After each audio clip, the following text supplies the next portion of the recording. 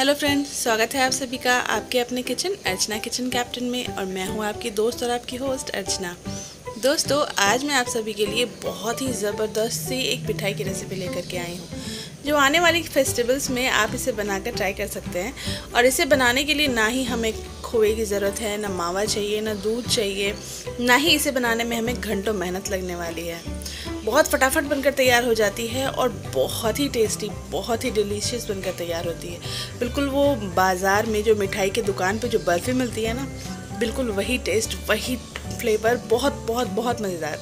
तो चलिए, video start करते हैं और देखते हैं कि इस मिल्क बर्फ़ी को हमने बनाया कैसे है बिना दूध, बिना खोए के। इस मिठाई को बनाने के लिए पहले हम कोई भी बाउल में दो कटोरी या दो कप मिल्क पाउडर ले लेंगे। कोई भी कटोरी सेट कर लीजिए और सारा मेज़रमेंट उसी से करेंगे। यहाँ आप कोई भी ब्रांड का मिल्क पाउडर ले सकते हैं। मिल्क वाइटनर भी चलेगा या मिल्क पाउडर दोनों में से कुछ भी ले सकते हैं। मैंने यहाँ पे अमूल का मिल्क वाइटनर लिया है। अब आधा कटोरी मैंने घी ले लिया है। मेरे पास मेज़रमेंट करने के लिए कटोरी है तो मैंने उससे मेज़रमेंट किया है। आप अपने हिसाब से घर की कोई भी कटोरी सेट कीजिए और उससे मेज़रमेंट कर लीजिएगा। अब यहाँ घी और मिल्क पाउडर को ऐसे मिक्स करना है, जैसे कि हम कोई रेसिपी बनाने के लिए मोइन लगाते हैं ना, बिल्कुल वही प्रोसेस करना है यहाँ पे। अच्छी तरीके से इसे मसलते हुए मिक्स कर लेंगे।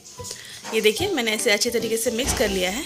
अब इसका टेक्सचर कैसा होना चाहिए, ये देखिए। इसे हम मुट्ठी से दबाएँ तो बिल्कुल ये डो फॉर्म में आनी चाहिए, यानी कि बॉल के टाइप पे होनी चाहिए। और ये, देखिए, मैं इसे हिला भी रही हूँ, फिर भी ये टूट नहीं रही है। तो बस इसका जो टेक्सचर है ना, बिल्कुल यही होना चाहिए। तो अब क्या करेंगे, इस मिल्क पाउडर को हम अभी साइड कर देंगे और अभी हम यहाँ पर बनाएँगे चाशनी। शुगर सिरप बनाने के लिए मैंने यहाँ पे एक बर्तन ले लिया है। मैंने यहाँ पे नॉन स्टिक बर्तन लिया है। आप चाहें तो कोई मोटा तला वाला बर्तन भी ले सकते हैं। अब यहाँ मैंने चीनी एक कटोरी ली है और साथ ही पानी भी इसमें एक कटोरी डाल लिया है। अब सिरप हमें कैसी बनानी है? तो पहले तो हम नॉर्मली चीनी को अच्छी तरीके से पिघला लेंगे।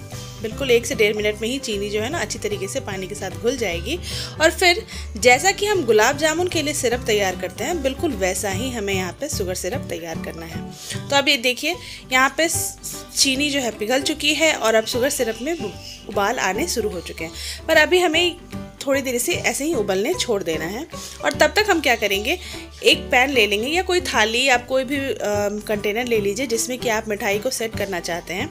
और उसमें थोड़ा सा घी लेकर उसे अच्छी तरीके से पूरे बर्तन में स्प्रेड कर देंगे। इससे होगा ये कि जब हम मिठाई को जमाएँगे ना तो वो अच्छी तरीके से इसमें से वापस से निकल जाएगी और बिल्कुल परफेक्ट शेप में निकलेगी।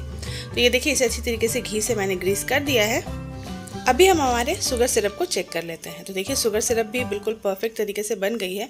और इस तरीके से उंगली से एक बार देखेंगे, लेके टेस्ट करेंगे कि कैसा है ये। देखिए, मैंने यहाँ पे थोड़ा सा लिया है और देखिए, ये एक तार बन ही रही है। पूरी एक तार बनी नहीं है, पर ये एक तार बन ही रही है। जैसे हम उसे उंगली से खींचते हैं ना तो ये से एक तार जैसे दिखती है। तो बस ऐसा ही सिरप हमें चाहिए।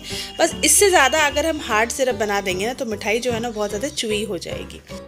अब हम क्या करेंगे, हम इसमें फ्लेवर ऐड करेंगे। तो मैं यहाँ पे इलायची पाउडर ऐड कर रही हूँ। आपको जो भी फ्लेवर पसंद हो, आप ऐड कर सकते हैं। अगर आपके पास केवरा वाटर हो, केसर हो, या फिर गुलाब जल हो, आप कोई भी इसमें फ्लेवर ऐड कर सकते हैं। अब इसे एक बार अच्छी तरीके से मिक्स कर लेंगे और मिक्स करने के बाद अब हम इसमें ऐड करेंगे वो मिल्क पाउडर जो हमने यहाँ पे पहले ही मिक्स करके रखा है घी के साथ। तो ये देखिए। एक साथ डालें या थोड़ा थोड़ा करके डालें, जैसे भी आप आराम से इसे मिक्स कर सकें, वैसे डाल लें। और उसके बाद अब इसे हमें मिक्स करना है। तो बस इसे लगातार चलाते रहें और चलाते हुए मिक्स कर लें। गैस का फ्लेम यहाँ आप बंद कर ले या फिर बिल्कुल भी कम कर दें। मैंने यहाँ पे गैस के फ्लेम को ऑफ़ कर दिया है ताकि नीचे ये तले में चिपके नहीं और साथ ही शुगर सिरप और ज़्यादा गाढ़ी ना हो। अब यहाँ पे टेंशन लेने वाली कोई चीज़ नहीं है। ये लम्ब्स बिल्कुल भी नहीं इसमें पड़ता है और बहुत ही आसानी से ही अच्छी तरीके से मिक्स हो जाएगी। बिल्कुल ऐसी, अभी तो बिल्कुल आपको हार्ड दिख रही होगी, ऐसा लग रहा होगा कि सिरप कम हो जाएगा, पर ऐसा कुछ भी नहीं होगा। ये इतनी ही सिरप में काफ़ी अच्छी तरीके से मिक्स हो जाएगी और बिल्कुल लिक्विड वाली फॉर्म में आ जाएगी। मैं बिना किसी स्किप या बिना किसी एडिट के आपको ये वीडियो दिखा रही हूँ ताकि आपको समझ में आ सके कि ये बिल्कुल प्रॉपर तरीके से कैसे मिक्स हो रही है। तो ये देखिए बिल्कुल मस्त तरीके से ये मिक्स हो चुकी है और अब हम इसे बिल्कुल तब तक पकाना है जब तक ये थोड़ी सी डो फॉर्म में आनी शुरू ना हो जाए।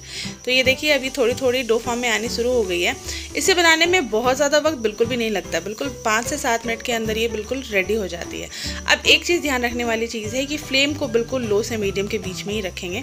अगर हाई फ्लेम पर आप इसे बनाना चाहेंगे तो ये तुरंत ही इसका कलर चेंज होने लगेगा रेडनेस इसमें आ जाएगी और फिर आपकी मिल्क बर्फ़ी जो है ना, वो वाइट की जगह पर रेडनेस में आ जाएगी। या फिर थोड़ी सी ब्राउन दिखने लगेगी। तो ये देखिए, ये मिक्सर जो है ना, बिल्कुल बर्फ़ी सेट होने के लिए रेडी है।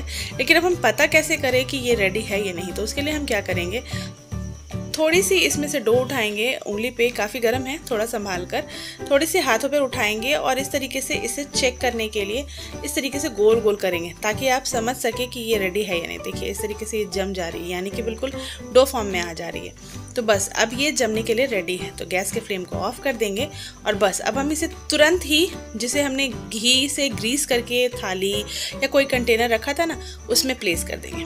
और अब इसे तुरंत ही फैला भी लेंगे, ताकि ये क्योंकि जैसे जैसे ठंडी होने लगेगी ना, ये बिल्कुल सेट होनी शुरू हो जाती है।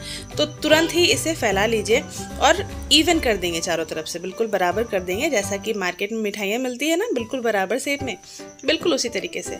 आप इसे थाली में भी बना सकते हैं। मेरे पास ये कंटेनर थी तो मैंने इसमें डाल लिया है। या फिर आपके पास अगर वो मिठाई जिसमें बनाते हैं ना, वो वाली कंटेनर हो सेट करने के लिए तो आप उसमें भी बना सकते हैं। तो देखिए इसे मैंने फैला लिया है। थोड़ा सा टैप टैप भी कर लें, जिससे कि कहीं अगर गैप रह गई हो तो ये बिल्कुल इवन हो जाए। अब क्या करेंगे? इसे सजाने के लिए इसके ऊपर थोड़ी सी पिस्ता या बादाम की कतरन से आप इसे सजा सकते हैं। और नहीं तो बिल्कुल इसी तरीके से इसे छोड़ दें और बाद में सिर्फ़ चांदी की वर्क लगाकर सजाएँ। और नहीं तो बिना उसके भी सजाए, बिना सजाए भी आप इसे इंजॉय कर सकते हैं। बहुत ज़बरदस्त लगती है। तो मैंने इसे थोड़ी सी पिस्ता और बादाम की कतरन से सजा लिया है। और यहीं पे किचन काउंटर पे ही ठंडी होने के लिए इसी किचन काउंटर पर छोड़ देंगे और करीब आधे से एक घंटे के बाद इसे हम अपने हिसाब से, अपने मनपसंद के हिसाब से इसे कट कर लेंगे।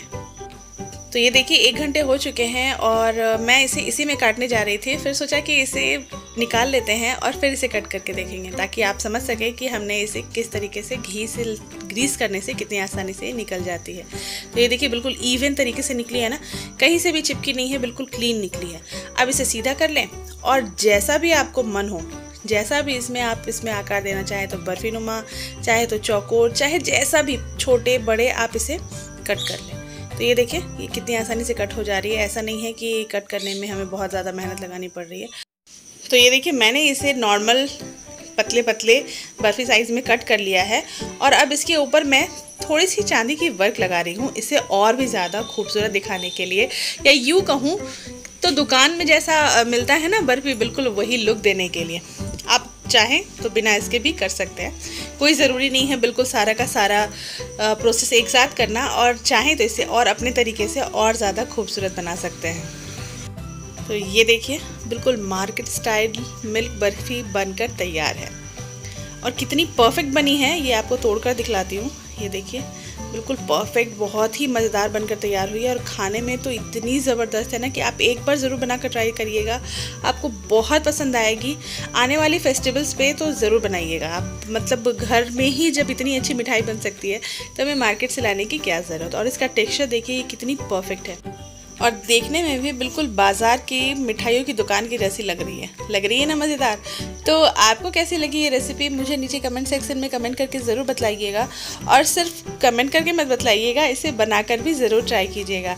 और फिर आपको ये टेस्टी लगी या नहीं लगी, आपको कुछ डिफरेंट लगा या नहीं लगा, वो भी मुझे नीचे कमेंट करके बतलाइएगा और अगर वीडियो पसंद आई हो, मेरे ना मेहनत अच्छी लगी हो तो मेरे चैनल को सब्सक्राइब और वीडियोस को लाइक ज़रूर कीजिएगा। और साथ ही नोटिफिकेशन बेल को ऑन कर लीजिएगा। मैं मिलती हूँ इसी तरीके के कुछ और नए और बेहतरीन से रेसिपी लेकर। तब तक के लिए bye friends and take care